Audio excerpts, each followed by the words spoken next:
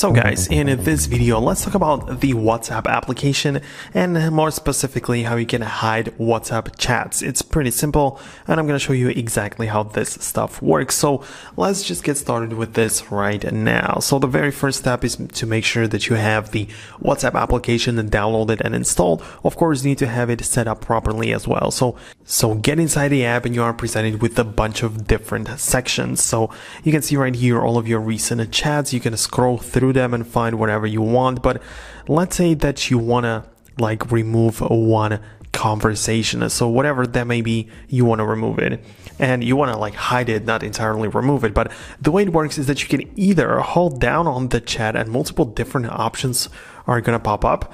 And one of the options is one called archive.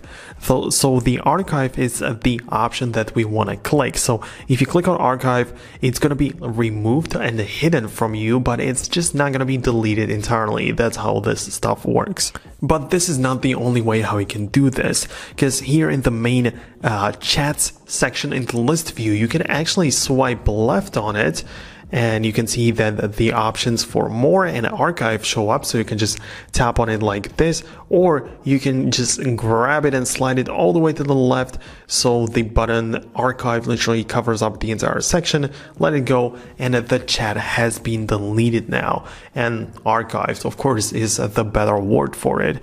So the chats are now archived now the question is where exactly you can find them. Well, in the chat section, if you have any archived chats, you can see there is this section literally at the top of the list. So you can tap on it and it gets you inside in here. So some random people, random numbers, whoever that is, that were contacting me. So you can see that these, these people are just um, the archived conversations that I have. So these chats stay archived when new messages are received. So to bring them back, you can again just slide like this to unarchive it like this, it's going to be removed, or you can hold down on it and again mark as unread or unarchive it. So unarchiving, you get back to the main section and you just reverted the entire process. So that's how it works. I really hope that you found this video helpful and for more videos like these, make sure you hit the thumbs up, make sure you subscribe to the Foxtecc YouTube channel as well.